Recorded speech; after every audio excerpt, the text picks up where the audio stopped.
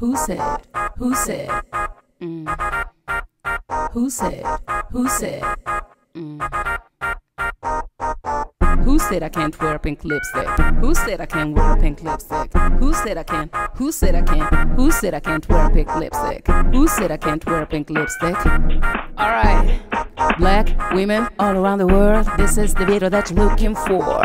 Alright, let's begin with a pink that I ever bought in my life. Girl, girl, girl. about town. It's from my cosmetics.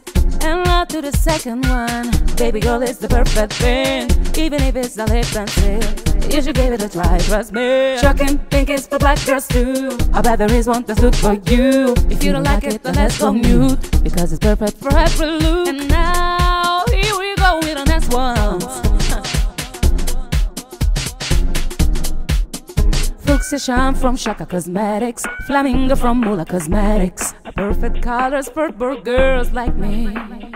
If you like pink lipstick, wear it. Oh, let your lips pop, wear it. Now tell me, girl, which one do you prefer? Number one, number two, number three, number four, number five, number six, number seven, number eight, number nine, number ten, eleven, number twelve. Now tell me, girl, which one do you prefer? Who said I can't wear pink lipstick? Who said I can't wear pink lipstick? Who said I can't wear it?